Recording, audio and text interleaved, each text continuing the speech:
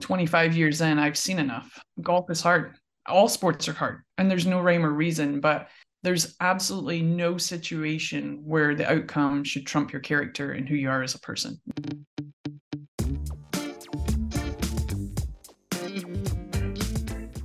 Who wants to talk coaching? Today, Coach Anne Walker is joining us. Now, if you search Anne Walker uh, in uh, in Google, you might find an article or two that pop up. You're going to actually find a bunch of them, but one of them that's going to pop up out of the gate is going to say she's the greatest golf coach you've probably never heard of. Uh, that's about to change today. In addition to leading Stanford to the first two NCAA titles in school history in 2015 and 2022, Coach Walker has mentored some of the most recognizable names in the sport. She came to Stanford from UC Davis after serving as its head women's golf coach for four years.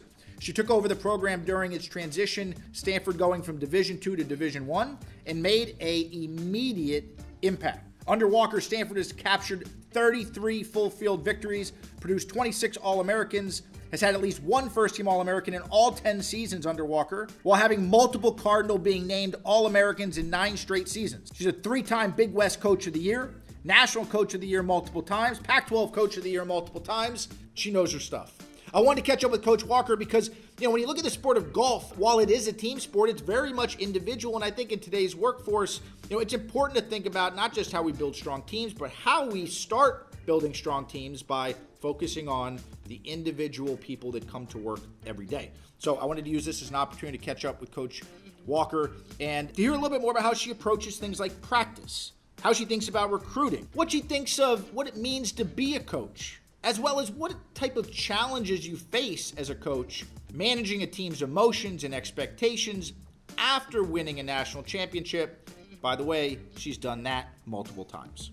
So here's Coach Anne Walker. Let's bring it in.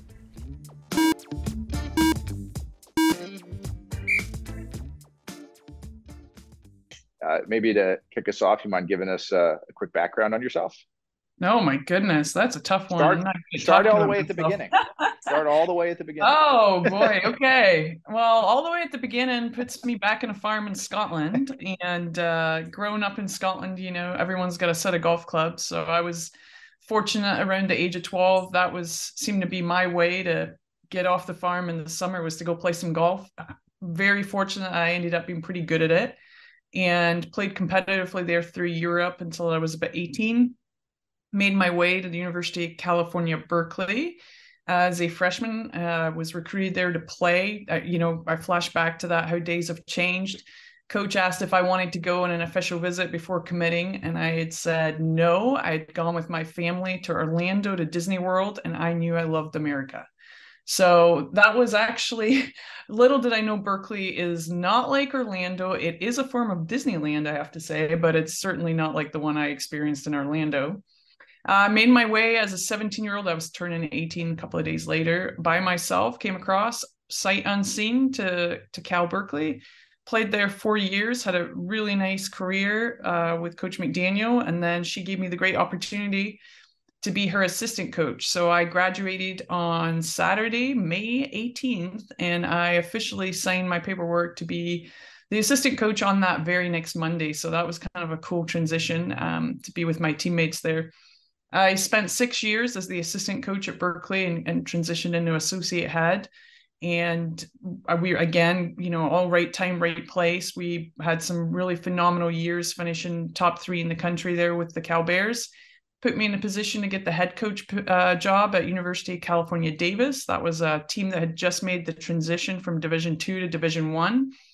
Uh, inherited just some wonderful young women, and we worked really hard. And we were fortunate to go to the national championship and finish the last couple of years there, top 15 in the country, which was really, I, I think my final year there, we were ranked 11th. And uh, that was remarkable because we only had five in state scholarships and it speaks volumes to the power of heart and desire and when you believe what you can do. And and those young ladies that I got to coach there they put my career on a path to Stanford so I'm forever grateful to them. Started here in 2012 took over a program again inherited uh, two young freshmen Mariah Stackhouse and Lauren Kim. We were all kind of freshmen together. And lo and behold we won a national championship in 2015 runner up in 2016 And from there, the programs just kind of kept steamrolling forward with great recruits coming, great people, hard workers, and uh, we're most recently won the national championship last year in 2022. And so currently the reigning national champions and the number one ranked team in the country. So very fortunate coach, Sam. Um, met so many wonderful people and right time, right place. And that brings me to you today. What's it like to win a national championship? Oh my goodness. It's it's pretty cool. I I mean there's so many layers to it, right? But sharing that experience with people that you spend this you know a lot of the kids are with four years but certainly year to year one of the cool things about college sports in my estimation is that the culture's changing every year the people on the team changes every year the kids that you have on your team they change because you know they go from freshman year and, and all that's going on to sophomore to junior to senior year so it's a really dynamic environment that you're working in. It's constantly morphing and molding and uh, changing.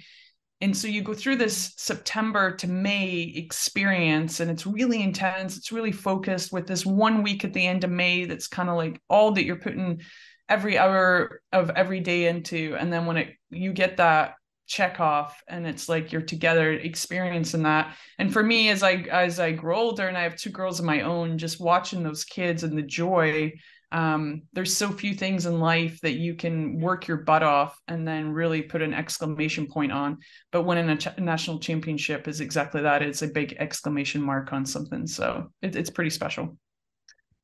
Given that this isn't your first one you know from 2015 and now 2022 they, they always say that it's it's really tough after. I mean, you only it's hard to get to to the next level after being number one that you mentioned. What what are the what are the things you're thinking about as you think about 2023 um, that maybe you learned after the the win in 2015? Yeah, you know, I've been thinking about this a lot this year. So you're you're asking a very pointed question. Um, sustained excellence comes to mind you know I, I think we see across all industries and certainly in sports teams that get hot or you know companies that get hot for and, and then they come and go. We, we see it in the music industry a lot. You know i think of all these songs that i was singing as a 14 year old and then i'm like wait what happened to that singer? And you know you look them up and they no longer. And so these one hit wonders so sustained excellence has really been on my mind. And what does that look like and trying to research and learn about companies or teams specifically. And we're very fortunate that we're in the backyard of the Golden State Warriors. And I would consider what Steve Kerr has done there and that organization sustained excellence. Uh, what do they do? How do they operate? What are they focused on? And then trying to learn from that. And, you know, I would say what I've come to the conclusion is that it all boils down to relationships, values, systems, habits, the process, you know, all this stuff that's well documented. But even though it is well documented, it takes real discipline to stay true to it. And I think that's what separates people, right? There's those who have the discipline to fully immerse and commit to the process and to making sure that you are um, working the right way, practicing the right way, focused on the right things, making the right decisions um, and, and doing that not over the course of 24 hours or 48 hours or two weeks, but doing that over the course of years. It takes immense passion and discipline to do that. But if you do that, when you step back, you know, this is my 11th year at Stanford. I step back and I look at this last decade and I'm shocked. You know, I, I can hardly believe what's on the paper. But when I was in the midst of it with these these ladies on the team, we were never really stopping to pat ourselves in the back in that sense. You know, we patted ourselves in the back plenty because that's all part of it, but we were never patting ourselves on the back for outcome. It was more for the hard work that we were doing day to day. And so, so I would say that I think coming off that national championship last year, we're not talking about winning another one. We're talking about just the way we operate and are we staying true to our values we were talking before we started about our audience and you know, so many folks listening are either frontline managers, C-level leaders that are thinking about how they get the how do they create an environment of bests, you know, where their people are performing their best, they're delivering great service, their their business is growing.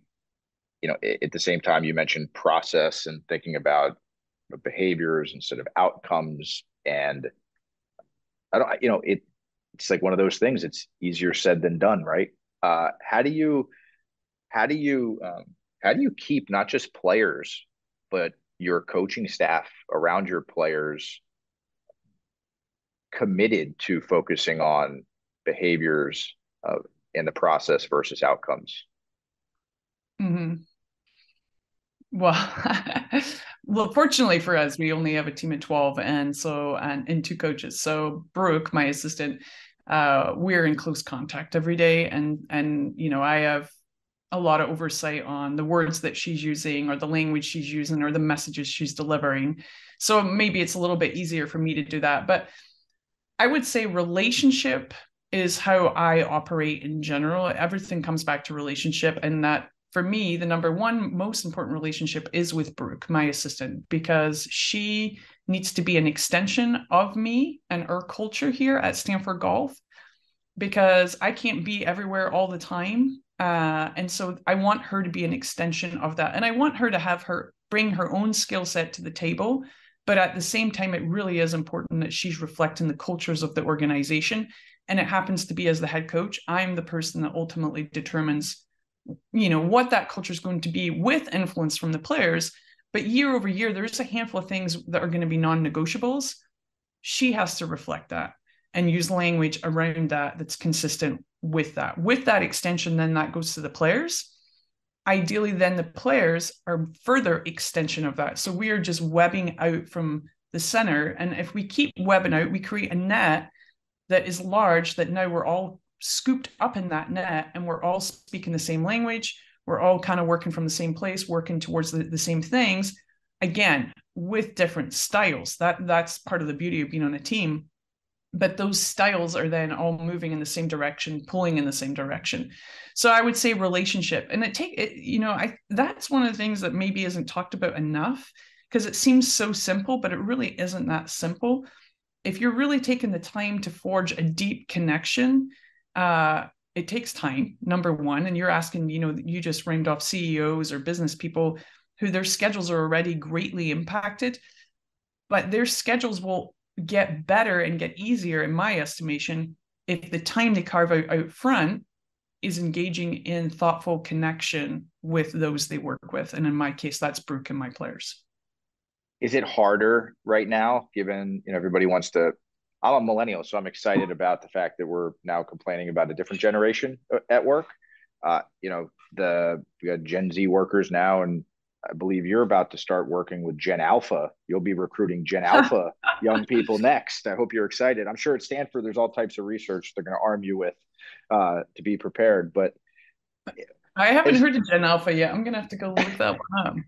we're we're all the way back. We're back to the top of the alphabet. Is what what it feels, what it sounds like. As when you're when you think about, you know, again, I I connect this to the to the workforce. Organizations are constantly you know not just recruiting new workers but they're also having to resell workers on being in their organization. You know in your environment that is also true. Um, i guess if you talk a little bit? There might be so i always believe that college coaches have insights as to what the next wave of workers are going to look like any insights you know as you think about how connection and relationship building are in this moment Oof, yeah well, I let's you know I work with Stanford student athletes, so they're pretty remarkable. And so day to day, I think the future of our world is going to be is going to be okay because I see the leaders who I think are going to be our next generation of leaders, and they're they're remarkable. But you know, Gen Z, Gen Alpha, all these millennials, my experience has been at the core, they haven't changed that much. The same desires are there, the same desire for connection, desire to be their very best. Um, uh, the work ethic maybe looks different. You know, I think they still work really hard, but they work different, uh, at least to me. And I think that's a result of just their world and the way technology is for them. And their lives are so full. That's the one thing I noticed that they feel really overwhelmed and busy, and they are, but they're busy with things that they can't necessarily point to because I think their life is so full with their technology. I think that's something that if I was in the workforce and who's coming my way, that it's worthy of knowing. Um, it's relentless. I see that the inbound on them is completely uh, it's nonstop. They they don't get quiet moments, Sam. And I'm as someone who coaches elite athletes, I get concerned about that because you know if you don't really have any quiet moments, you don't have as much time to really listen to your thoughts, process your thoughts. Thoughts drive feelings. If you're not processing the thoughts, then those are going to feelings. If you're not aware of your feelings, then you're not totally having the ability to be at your best peak performance and so it's a little bit of a distraction, not a little bit of a distraction, it's a big distraction. So that's where, for me, I get concerned about what that looks like when it goes to the workforce, because I see it day to day with kids who are at the very top of their sport and they have no time, truly no time for quiet reflection and thought. When, when people think about a sport like golf uh, or tennis, I used to work in the sports performance space where we would work with um, not just professional football and professional baseball, but pro tennis and pro golf and pro hockey. And you know, they always say golf is an individual sport, right? That's the phrase often thrown mm-hmm. around. Um, I guess can you talk to how how you think about creating a team where there is that perception of it being an individual sport and um, you know what your what your take is on that mm-hmm. uh, you know the thing we talk about here is I, I think the sport is way down the road right first and foremost i look at myself as an educator i get to work with young people in an academic environment and so that's what we're mostly focused on up front. I think there's plenty of skills that these young women can learn that some will come up on the golf course, but a lot of it's done in in the office setting, in conversation, in going through, you know, their their character, their their goals for the year, all these types of things. So first and foremost, if we look at it as education, they buy in already. Then we look at it as experience. You know, ultimately, what is your opportunity here? Your opportunity here is it's this idea of steel sharpens steel, right? You get to be surrounded by the very best players, academics, leaders of your age group. And you you know the saying, I'm, I'm sure you do, you, that you're the sum of the five people you spend the most time with.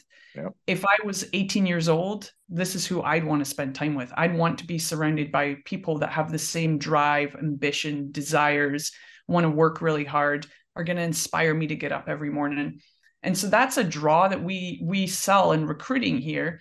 And I've been thinking a lot about, you know, what you're saying about who's listening to your your podcast and if I was in the workplace and I'm thinking about that, one of the most important jobs I would consider is being careful about who I'm bringing in my workplace. Because if you bring the right people in the workplace, right there is more than half the battle. They already chose to be part of your group and you chose them. So already you have this connection that you've committed to one another. And then from there, you can forge forward.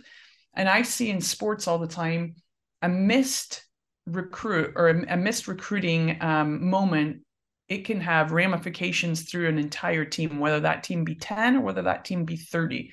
That's how the power of having one wrong character for your group. And that character is probably the right character for a different group, a different leader, a different set but just not for your set. And as a leader, we need to understand our own selves, what we value, how, you know, what character fits in our systems, and then bring those people into our culture.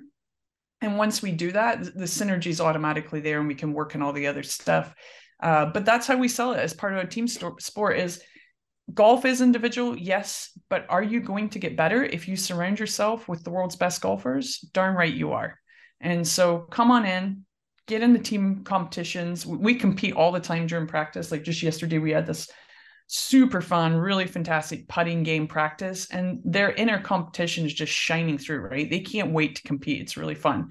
But they all got better. And they got better because, you know, we have Rose Zhang on our team, world number one. We have Brooke Seay, 30th ranked player in the world. So if I'm beating Brooke Seay or I'm beating Rose Zhang, I'm getting better. And so this this notion that um, iron sharpens iron, steel sharpens steel. come be a part of this and you grow individually as well as collectively as a group.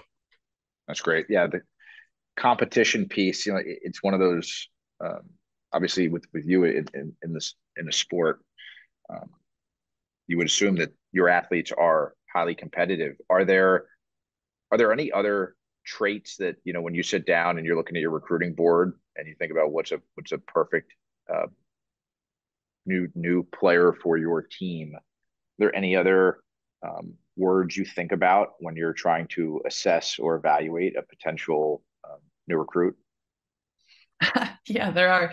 I we get. We always have we always have words on walls. I'm sure you got a bunch of words on walls. Oh, or... we have so many words on walls. But you know, it's funny. I've been recently kind of reflecting on that um, because we just had a junior camp, and that was one of the questions one of the parents had. And so, one of the things that I've been looking for recently is to get to Stanford. You're going to have a lot on your plate as a junior. You're going to have to be traveling, competing you know not only competing competing well you know shooting low scores and now you have to be preparing working on your skill set there's a whole athletic thing that goes on simultaneously you're going to have to be top of your class you're going to have to be taking a lot of aps you're going to have to making up miss schoolwork and so you have just so much on your plate. I mean it's really incredible how much these juniors have on your plate. How they respond to that sam is very telling of how they will respond down the line when they get under into our program. And watching that built-in response and and learning about it i'm asking a lot of questions about it during recruiting because that will it, it's kind of their um you know it's their habit and and it will keep going they will continue to run that cycle down the road if that if the words that they are using are buzzwords around, you know, and it's okay to be stressed and it's okay to be uh, overwhelmed, of course, but a lot of kids will look at it as like they're kind of also stoked because they're like, it's pretty cool. Like they're it's a challenge. And but I see how this gets me to Stanford and I got it, coach. You know, they'll tell me, they'll be like, Coach, don't worry, I got it. If they say that about high school stuff, they will say that when they get here and they're in the heat of the battle at the national championship coming down the stretch it will come back up. So I'm looking for the soft skills and how they're responding in that moment. The other thing that I'm looking for right now in these junior players is few of them now want to speak to me directly. And I'm having to go through parents. My whole thing is your mom's going to be in Texas, your dad's going to be in Texas, wherever they might be. You and I are going to be in communication for four years. So you know i understand it's not comfortable and i understand that you're just learning you're 15 16 years old and you're just learning. But let's talk you know let's sit down and have a conversation. And that's become really important for me too in the recruiting. So i would say those two things how they're responding to the stresses of academics and athletics as a high schooler. And then additionally are they able to comfortably come in my office and just hang out and just talk it doesn't even have to be about the process of recruitment. It can be anything. And if they can do two those two things well, they're going to thrive here in this environment. Yeah, the relationship is key, right? For your with you yes. and your players. Always. You brought up parents. I wasn't going to go there, but uh, I, I, would like to ask one question on that front. Uh, you know, I thought you mentioned Dr. Jerry Lynch before we started. Uh, yeah. was on the podcast, and he's awesome. He's probably on his 50th book he's writing right now. He probably wrote a book between the time we started this episode and the time we finished, uh, given what he does. Um, when I when I when I spoke with him recently, I asked him. I have a six year old daughter, and she just started playing soccer, and my wife was a college soccer player, and I um, I asked Jerry, you know, what what advice he had for me around uh, being a parent who's, you know, again, I stand as far away from the field as I possibly can while I still can see everything.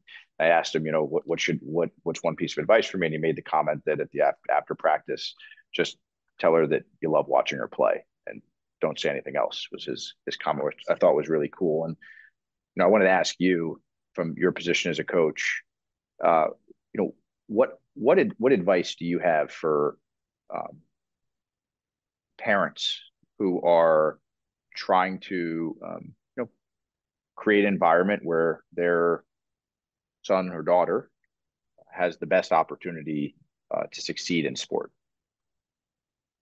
Yeah, I I heard Jerry's comments and I agree with him. I actually have an eight year old and a five year old as well. So, you know, I'm trying to learn that along the way, what that looks like as well. And uh, I I just agree. I think that from what I've seen, there is no sure way that how you're operating at home is going to put your kid on the Stanford baseball team or you know play for the Tampa Bay Rays or whatever the the long-term vision some parent might have. Uh, we see plenty of stories that sometimes the kids that are the most successful, mom and dad worked and they were playing at the local golf course and mom and dad didn't even know that they were good. They were dropping them and picking them up, right? So there's no sure way. And when we know that, what do we know then? We know that the one sure thing is your kid only has one mom and one dad. That's it. And they've got plenty of coaches. They're going to have plenty of teachers, plenty of other people, but they really need mom and dad to be mom and dad. And what does that look like? And I, I think unconditional love and knowing that it doesn't matter what happens on that field, it does not matter how that practice went. When you come home at night, no one's going to love you harder than your mom and dad. Um, and that's the way that I think that's what Jerry was getting at. I love watching you play. What do you want for dinner? You know, and that's what coach can't do. A coach is going to pull you aside and, and reprimand you for not seeing the open spot or, you know, in golf or lasering the bush behind the, the green that then you hit it into the bush. Um, so I, I, it's hard though. And it's a discipline. That's the thing that I notice as a parent. Uh, parenting takes discipline in itself. And I watched the parents of the kids on my team and I talked to my players too. My players want their parents to be so proud of them when it comes to golf.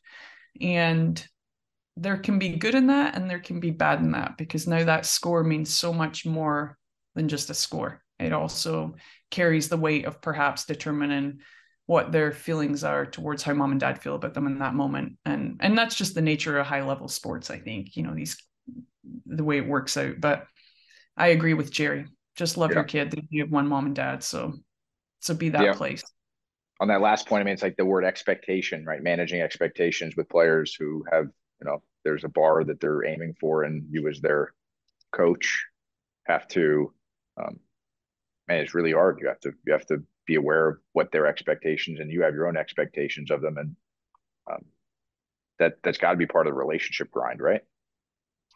It is and part of the relationship grind here with my players is constantly telling them that i'm going to fall in that unconditional love category because 25 years in i've seen enough. Golf is hard and it's all sports are hard and there's no rhyme or reason but there's absolutely no situation where the outcome should trump your character and who you are as a person. No situation. And so for me, we're going to have good days, we're going to have bad days, you're going to hit good shots, you're going to hit bad shots. But when we get in that team van and we head out, it's not going to alter the way I think about you, feel about you. Our tough conversations are going to be if in that moment, you know, you behaved or lost your character or you, you know, gave up on the things that you have control over that deter- define who you are. Those are going to be the tough conversations and we've had those. I've had plenty of those with young women that in the moment acted in ways that perhaps they wish they could take back um, but it's never going to be because of a miss shot or a miss putt or you know those types of things coach super appreciate you taking the time uh, i have one one final question for you you know we're talking about future of work and many of the folks are thinking about what that looks like and how they're driving their businesses in the direction they need. Um, what's your hope for the future of work? I hope we get back to in person, Sam, and I, I hope um, you know I I don't know whether this is old school or not, but I, I'm not sure that hybrid works for society because at the end of the day, what do people crave? We crave love, we keep crave connection, we crave relationship, and you just don't get that as easily with uh, through technology. I, I, think there's great value to the technology when it comes to doing business across the world or with different companies. But when it comes to your organization, the only way you can really feel immersed and give all you've got for an organization is if you feel connected to the others that are, are in the journey with you. And that is very difficult. So I, I hope the future of work is we can get back to being in person, being with each other, being connected, having a relationship, and feeling true value to what we do when we wake up every day. Coach, thanks for taking time. Yeah, thanks, Sam. Have a good one.